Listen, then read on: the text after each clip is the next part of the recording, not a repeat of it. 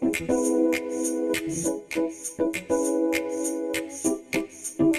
a aprovechar porque hoy tenemos un tema también muy interesante para que nos rinda. Está con nosotros una mujer, una especial, ¿cómo se dice? Una especialidad. Nefróloga, pediatra, epidemióloga y magíster en telesalud. Ay, pues además toda una eminencia. La doctora Diana Bello está con nosotros. Bienvenida y un placer que nos acompañen hasta el final. No, muchísimas gracias a ustedes por la invitación. Es un placer estar aquí acompañándolas hoy. Cuando me dijeron, eh, vamos a hablar de la, una enfermedad que se llama XLH, la verdad nunca en mi vida la había escuchado. Tampoco. O sea, que considero que debe ser una de las enfermedades huérfanas. Pero ¿a qué se refieren esas siglas, doctora, y de qué se trata? Sí, eh, eso traduce XLH, raquitismo hipofosfatémico ligado al X. El X. XLH, Ah, el realmente sí es un nombre un poco denso, pero no, es una enfermedad que hace parte de las enfermedades raras, más o menos se produce un caso por cada 20 mil nacidos vivos, pero nos hemos dado cuenta que a medida que hemos difundido las características de la enfermedad, cada vez van saliendo casos. Entonces lo raro no es tan raro hasta que uno no empieza a buscarlo, sobre todo porque al ser una enfermedad genética, un caso que uno encuentre es una familia con muchos otros eh, afectados allí mismo. ¿Qué es? Bueno, consiste en, como su nombre lo indica, pues un raquitismo. Se produce una alteración en la formación de los huesos o la mineralización porque el fósforo en la orina se pierde y el fósforo en sangre se mantiene muy bajito. Entonces el fósforo es necesario para que los huesos se consoliden bien y al estar ausente producen deformidades en las piernas, eh, pero además de eso deformidades en los brazos, en las costillas, en los dientes, entonces se caen los dientes, producen problemas auditivos, baja talla, problemas de crecimiento. Se nota desde los primeros años, desde que nace. Bueno, no, realmente incluso cuando las mamás tienen diagnóstico, los niños nacen normales, peso y talla normal, embarazo normal, pero más o menos alrededor de los 18, 24 meses, cuando deben empezar a caminar, es donde se empieza a notar. Entonces existen como unas deformidades de las piernecitas que es normal, que a medida que van creciendo se enderezan, pero cuando esto persiste o la deformidad va siendo progresiva, sobre todo en las piernas que se llaman genualgo, entonces ya ahí estamos hablando pues de problemas de osificación de los huesos y de raquitismo como Ahí tal. Doctora Diana, estamos viendo las imágenes. Hablemos de cifras en Colombia y si afecta a un género más que a otro. Bueno, realmente no hay como una eh, predisposición a un sexo con respecto al otro, pero al ser una enfermedad genética ligada al X, quiere decir que si la mamá está enferma, la mitad de sus hijas van a tener la probabilidad de tener la enfermedad y la mitad de sus hijos varones. Pero cuando el papá es el enfermo, solo las hijas mujeres van a tener la enfermedad y ninguno de los varones.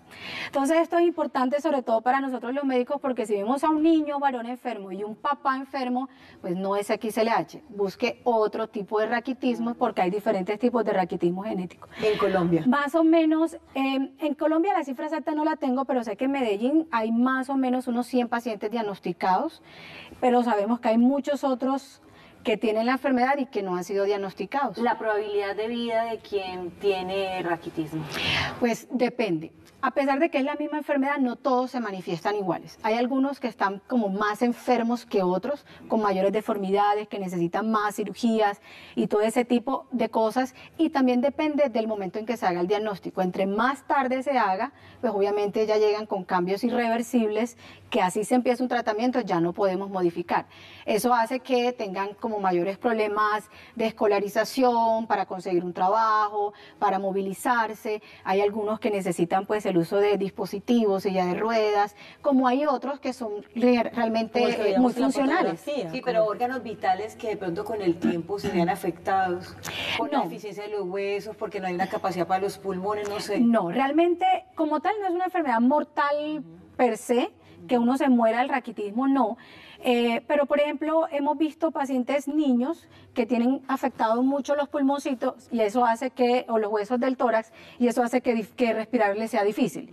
Pero no porque es una enfermedad pulmonar como tal, sino más como por un problema Por mecánico. mecánica, ¿cierto? Exactamente. ¿Eso se puede diagnosticar desde que estamos en la barriguita o se podría diagnosticar incluso antes de? Pues cuando tenemos una mamá ya con un diagnóstico, pues apenas nace, uno empieza a hacerle los exámenes para poder definir eh, si tiene o no los niveles de fósforo sérico bajos. Si no tenemos diagnóstico es muy difícil, uno casi que más o menos a los dos años es que empieza a darse cuenta porque los llevamos a los controles de crecimiento y desarrollo y no crecen bien, se están quedando pequeñitos, las piernecitas se están torciendo, no caminan bien.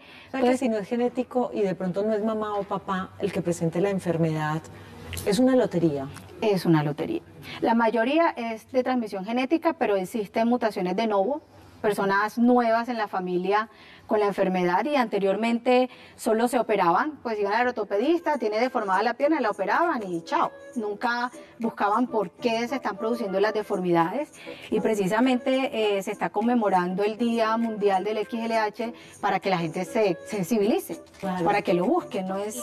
¿Y la parte cognitiva para terminar se ve afectada en algún No, en condiciones normales son pacientes que neurológicamente eh, están bien, pero cuando están muy adultos, sí, ahí por ejemplo pérdida auditiva, él habla y puede eh, haber alteración ocular y en algunos casos hay pérdida cognitiva, pero ya en etapas avanzadas. Qué interesante poner este tema en la mesa porque no lo conocíamos y era lo que usted nos mencionaba. Es raro hasta que lo conocemos. Cuando tenemos conocimiento lo que hay que hacer es actuar inmediatamente y saber qué es real y qué puede estar pasando. Quienes quieran saber más acerca, porque hablábamos precisamente de la conmemoración de este día, dónde encontrar, cómo encontrarla además, doctor.